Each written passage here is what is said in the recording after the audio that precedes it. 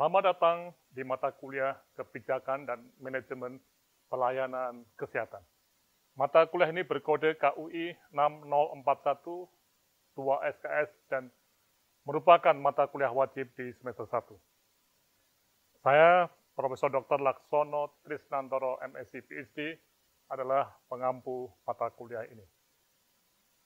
Saya didukung oleh teman-teman saya sebagai anggota dosen, yaitu Dr. Dr. Dwi Handono, MKes, Dr. Dr. Mubashir Hasan Basri, MA, Dr. Dr. Andriasta Miliala, DPH MKes MAS, dan Dr. Yodi Mahendra Data, MSc PhD. Mari kita lihat urian singkat mata kuliah ini.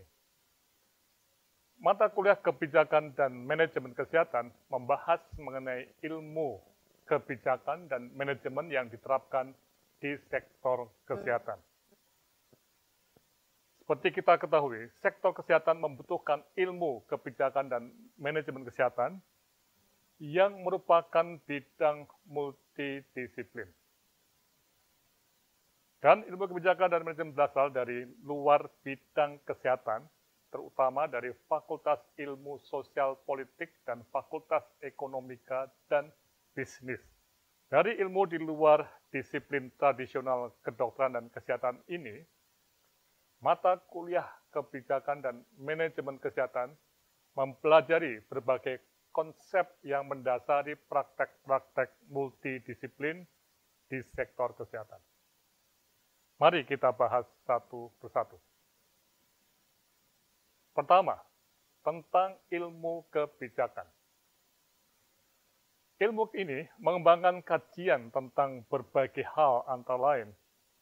Hubungan antara pemerintah dan swasta, distribusi, kewenangan, dan tanggung jawab antar berbagai level pemerintah.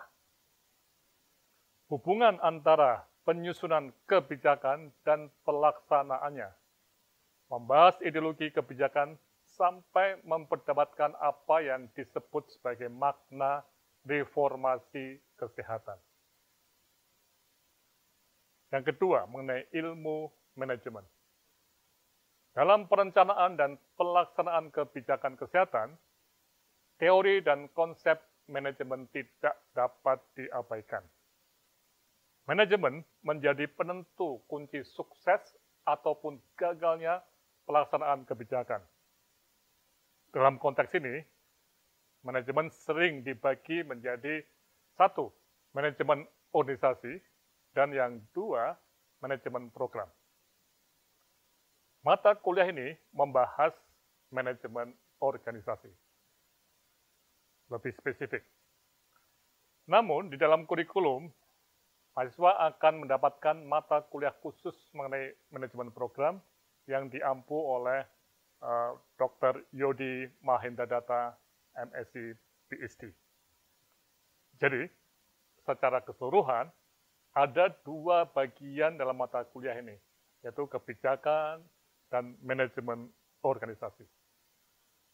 Kemudian kuliah ini juga berhubungan dengan mata kuliah lain di semester 2, yaitu reformasi kesehatan.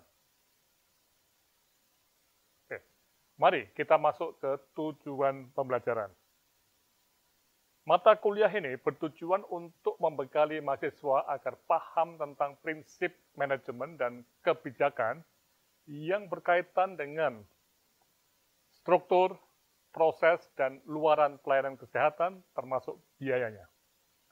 Pendanaan, organisasi, luaran, dan kemudahan akses. Dengan pemahaman tersebut, dapat lebih mudah bagi peserta untuk menerapkan ilmu kebijakan dan manajemen di sektor kesehatan. Kemudian bagaimana luaran pembelajaran yang kita harapkan? Setelah selesai mengikuti perkuliahan ini, diharapkan mahasiswa mampu untuk satu, memahami konsep sistem kesehatan dan berpikir sistem.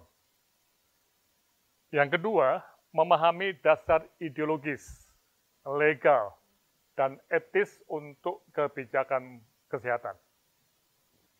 Ketiga, memahami proses kebijakan di sektor kesehatan. Keempat, memahami konsep dan prinsip manajemen kelembagaan dalam sektor kesehatan. Kelima, memahami isu kebijakan dan manajemen kesehatan dalam konteks kekinian. Para mahasiswa, silahkan mengikuti. Semoga dapat menikmati ilmu yang sangat luas namun sangat menarik ini. Terima kasih.